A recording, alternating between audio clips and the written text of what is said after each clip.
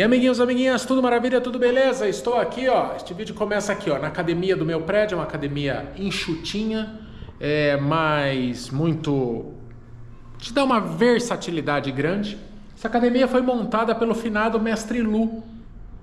Mestre Lu está bem, calma, não precisa se benzer. Mestre Lu segue entre o mundo dos vivos, porém não é mais um morador desse prédio, mas ele montou quando ele era morador aqui desse prédio. E eu tenho feito dois fortalecimentos presenciais lá na Move, né? Um negócio bem focado assim na, na questão de fortalecimento para corredores. Depois deixa nos comentários se vocês querem um vídeo assim. É, eu acho gozado essas coisas de youtuber, tipo assim. Deixe nos comentários se vocês querem ganhar dinheiro sem trabalhar. Ou é, se você quer nunca mais pagar por gasolina na sua vida, Deixa aí se interessa para vocês, eu vou te ensinar como. É aqueles vídeos, né? Aquelas perguntas retóricas, coisas que é óbvio, não custa nada para vocês, é óbvio que vocês querem um vídeo com exercícios de fortalecimento para corredor. Então, por favor, deixa os comentários, certo? Engajamento também é sempre bom, mas eu vou falar um pouco sobre como que tem sido esses dias, né? Esse período, esses 70 dias, 67 dias hoje sem corrida. Mas uma coisa é fato, hein? Vou até usar o espelho. Uma coisa ninguém pode negar. Estou fininho. Olha lá, ó. Estou conseguindo manter o peso, porque esse fortalecimento, alimentação, tudo está sendo importante nessa fase para que eu estou fazendo muito exercício né, além desse especializado, assim, eu faço exercícios aqui que foram indicados pelo Caio Maciel, do Laboratório da Corrida, que está me assessorando nessa parte, que são exercícios especificamente para minha lesão aqui, né? Que vai fortalecendo essa região de isquiotibial e outras partes do corpo.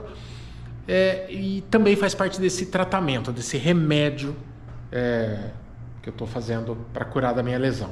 E além disso, eu vou te mostrar também um pouquinho da minha parceira, que está sendo minha parceira Judite, que está me ajudando a manter um pouco do cardio, né? Do aeróbico. É claro que a hora que eu voltar a correr, eu tenho certeza que eu vou sofrer muito para correr 5 km. Mas ela está me ajudando principalmente a queimar calorias, manter o peso e tudo isso. Então, ah, é isso, aquele esquema de vlog, vão mostrando um pouquinho de cada. E, meu, hoje minha vida tá muito, muito corrida, assim, porque tem uma coisa que, como bom sorocabano supersticioso, eu ainda não posso abrir para vocês, mas vem coisa nova por aí. Vai ser, eu tô muito empolgado. É, que mais que eu posso falar sem revelar muito? Bom, mas eu tô na correria desse para botar esse negócio, não envolve corrida, é totalmente fora da corrida, é um empreendimento. É, eu estou empreendendo junto com um grande amigo que eu não posso dar muita pista, senão vocês vão matar. E logo a gente pode revelar para vocês. Mas então tá uma correria, toda a correria do dia a dia do canal, mais esse novo negócio que é é uma doideira, assim. É, minha vida vai virar de perna pro ar de vez mesmo, assim, mas vai ser muito legal, tá sendo muito satisfatório. E hoje foi um dia que eu tive que correr com isso. Já corri com gravação do canal, com coisa, reunião. É, tive três reuniões de, de, venda hoje com parceiros do canal. É, fui no banco, quem é que vai no banco ainda? Fui no banco. Então, tudo isso, certo? Correria do dia a dia, perceba, olha quem me acompanha. Ó, então eu tô na reunião, eu tô com a camiseta Tech Shirt da Insider, agora eu venho pra academia e eu posso usar a Tech Shirt da Insider também. Porque ela não fica no futum, ela não dá subaqueira, não esquenta, tá extremamente quente em Sorocaba e você fica numa boa e você migra do, das suas atividades casuais para eventualmente fazer um exercício, uma atividade física. Então, hoje, por exemplo, eu vou fazer com a Tech Shirt aqui toda a minha parte de fortalecimento e vai numa boa. E detalhe, e detalhe, a hora que eu termino, mesmo que eu transpire um pouco, se eu botar ela secar no varal, não precisa lavar. E, e eu, isso é uma indicação da Insider, você não precisa lavar ela a cada uso. Então é formidável, não esquenta, melhor dos mundos, não dá cheiro, não precisa passar quando você tira da máquina, você põe no varal, ela estende sozinha. Quando você tira da máquina, você põe no varal, ela estende sozinha. E o melhor, tem cupom tem cupom para você economizar, é o Corredores 12, tá aqui, ó. Beleza? E o link para comprar nas qualquer produto da Insider tá fixado no primeiro comentário. Fechou? Vamos pegar duro aí, porque daqui 40 minutos eu tenho outro exercício. Esse é um exercício que eu costumo, essa sessão de fortalecimento costuma levar 35 minutos. Ela é bem rápida porque ela é bem objetiva, não tem enrolação. Eu descanso de um exercício fazendo outro. Bora, bora. Vamos, vamos dar uma suada.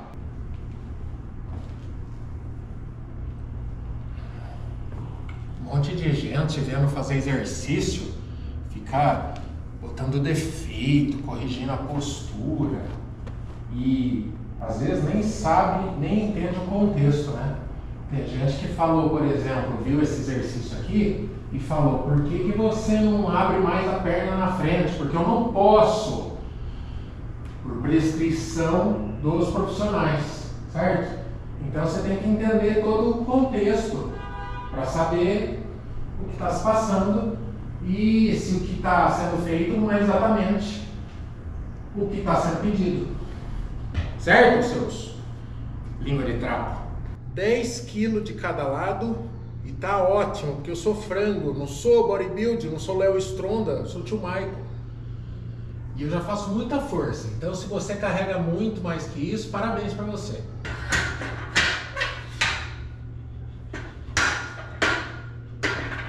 Agora melhorou, né? Tá tudo errado.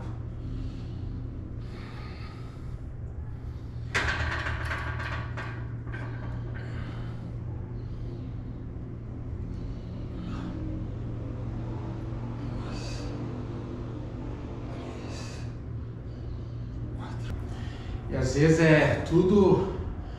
A dificuldade do exercício está diretamente ligada à execução, né? Dá um exemplo. Mini band é um baita é, parceiro do corredor no fortalecimento. Como que eu fazia esse exercício? Fazia assim, ó, né? Assim. Então ele tem um nível de dificuldade. Aí a Stephanie lá da Move me ensinou a fazer assim, ó fica com a perna tracionando o elástico e faz assim, ó. Nossa! Instantaneamente começa a queimar aqui, ó. Então é um jeito muito mais eficiente de fazer praticamente o mesmo exercício. Ai, o elástico está novo e ele fica tracionando muito forte. Ah.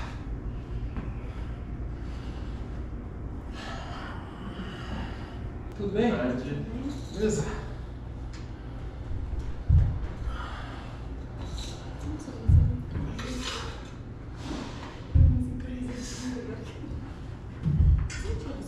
E aí, amiguinhos? Já é um novo dia. Eu parei de gravar lá na academia porque chega os brotos vizinhos do nada lá.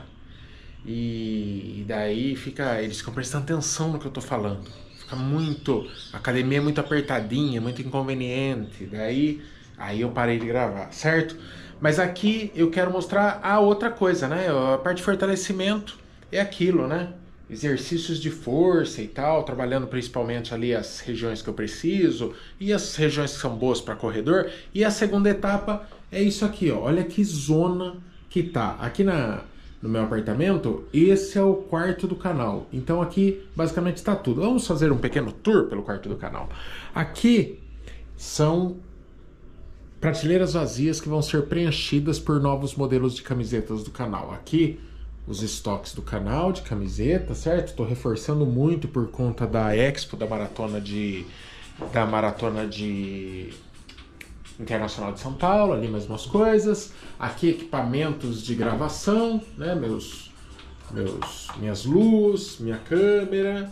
E aqui Judite, ela que é minha, minha, minha auxiliar nesse processo para não perder é, tanto card. Deixa eu tirar aqui que eu me desconcentro com o, o barulhinho aqui do, do, do Swift. Então, basicamente, o que, que é? Uma bike, essa toalha está aqui porque o suor cai muito aqui e acaba dando uma enferrujada aqui, pode é, formar uma, um negócio que não é legal para bike. E aqui um rolo que eu comprei no ano passado, quando eu estava super embalado no triatlon, né? Então, é um rolo smart. O que, que esse rolo faz? Ele conversa com aquele aplicativo que eu vou colocar na tela do computador. E quando você pega uma subida lá no, no filminho que vocês vão ver, ele fica difícil aqui como se tivesse uma subida. É um treino muito realista. Atletas é, de triatlon mesmo usam ele porque é, você não tem o perigo de ir para rua, de ser assaltado, de se envolver num acidente, de ser atropelado, alguma coisa ruim, e você está no segurança da sua casa treinando é, forte mesmo, assim, né? Dá para simular o que você quiser com esse tipo de, de equipamento. Você pode colocar um treino específico lá, colocar para é, programar um intervalado, né? Então é, tem sido muito bom. Eu transpiro pra caramba, costumo fazer treinos de até 50 minutos, uma hora no máximo. Eu acho muito mais entediante fazer bike no rolo do que é, corrida em esteira. Não sei porquê. Acho que a posição, não sei. Eu me divirto mais correndo na esteira, por incrível que pareça. E e é isso, mas sua pra caramba, não tem impacto, recomendado pelo médico, liberado pelo físio, é o que eu tô fazendo. Então vou fazer uma sessãozinha de treino para arrepiar agora, suar. Hoje eu vou fazer meia hora é, em ritmo constante e é, pedalando forte, pedalando num, num ritmo legal que já vou sentir as pernas quentes já no primeiro cinco minutos.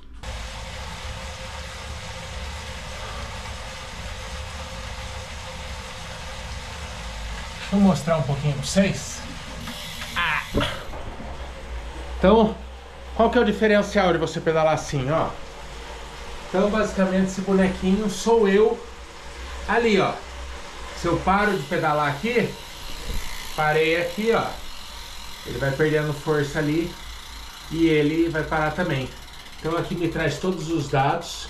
Ele está conversando com os dados que são emitidos pelo pelo sensor aqui, né? É um grande sensor de cadência e tudo. E, olha lá, volta a pedalar, volta a pedalar aqui, ele volta a pedalar lá. Né? Então é legal. Todas essas bicicletinhas que estão correndo são corredores pelo mundo. Você pode eventualmente combinar com um amigo de correr junto, eu nunca fiz isso ainda, mas tem me ajudado bastante nesse processo. É o que eu posso fazer. Eu morro de medo de ir pra rua. A fase não é grandes coisa pro esporte. Eu morro de medo de ir pra rua e sofrer um acidente. Imagina, tô sarando da lesão, vem uma cacetada aí e me ferra mais, de outro jeito. Então, eu tô optando aqui por, por, correr, por pedalar seguro e me manter em movimento. E basicamente o cerne desse vídeo hoje é o seguinte: você tem que arrumar, arrumar alternativas e pode arrumar alternativas para se virar no período que você não está podendo fazer o seu esporte titular. É óbvio que eu preferia estar correndo. É óbvio que eu preferia até um treino de tiro hoje. Mas não posso por, por enquanto. E se eu ficar totalmente parado, ainda que fazendo fortalecimento, a volta vai ser muito mais penosa. Muito mais. Eu tive que ficar parado, acho que 15 dias, sei lá. Quando eu fiz vasectomia, quando eu voltei eu senti. Eu tive que ficar parado uns 10 dias com Covid. Quando eu voltei eu senti. A gente está falando de períodos menores do que eu tô ficando agora.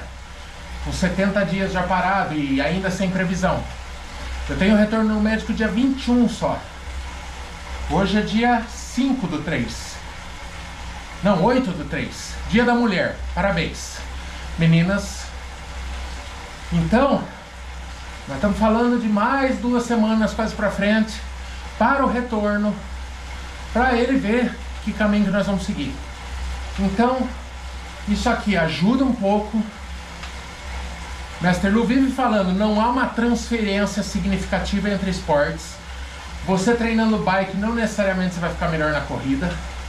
Né? Atletas de triatlon não ficam melhor na corrida quando começa a treinar bike. Porém, quando você melhora de forma geral a sua condição, cardio, peso, enfim, o seu condicionamento, é claro que melhora a sua vida como um todo. Quando eu comecei a fazer a bike de novo, e essa bike ela teve muito perto de ser vendida em dezembro, foi Deus mesmo. Eu já falei essa história, tem um cara que ficou ciscando, quase comprou. Se ele tivesse comprado, eu não tinha o que fazer agora. E esse aplicativo é um delírio, ó. O cara começa a pedalar debaixo da água, nos túnel. Mais, mais fantasia que isso, só se tivesse uma simulação do Sub 4 do Kiki do Marcel, mas também a tecnologia não chegou a tanto. Mas então, deu certo da bike não ser vendida, eu consegui me manter me movimentando e graças a Deus eu tenho essa opção, porque não tem bike na na academia que o Luciano montou para nós, tá? Parabéns, Lu. Então é isso. Sempre busque uma alternativa, seja através de exercícios aeróbicos que você pode fazer na sua casa, seja através de algo que você gosta, seja indo na academia, fazendo elíptico, que o médico liberar e te manter em movimento para o estrago não ser tão grande quando você voltar. E fortalecer. Eu estou fortalecendo como eu nunca fortaleci. Com intensidade, indo, encarando aquilo como um remédio. E como um remédio, como um remédio que trata e como um remédio que previne. Já falei mil vezes, não quero virar o embaixador agora da, do fortalecimento para corredores, mas assim, tem que tirar uma lição quando a gente se ferra. E a minha foi essa. Se eu não me, se eu não me lesionasse, eu nunca pararia para fazer o que eu estou fazendo agora. Então, já serviu. Se essa, se essa lesão ficar por mais um mês ou cinco, ela já me trouxe isso de positivo. E eu tenho, sou obrigado a ver a metade do copo cheio nessa equação aí. Beleza? É isso, amiguinhos, amiguinhas. Fortaleçam. Já lesionou? Faça uma atividade para se manter em movimento no período que você não pode correr. A volta vai ser muito melhor e você vai voltar. Amadores sempre voltam. Não há uma lesão que vai conseguir te tirar do esporte. Você precisa ficar só um tempo no estaleiro. Não desanime. Embora eu já tenha falado aqui que a gente tenha oscilações de humor, mas não desanime, persevere que no final vai dar certo. É isso. Beijo nas crianças. Jesus no coração. Tchau.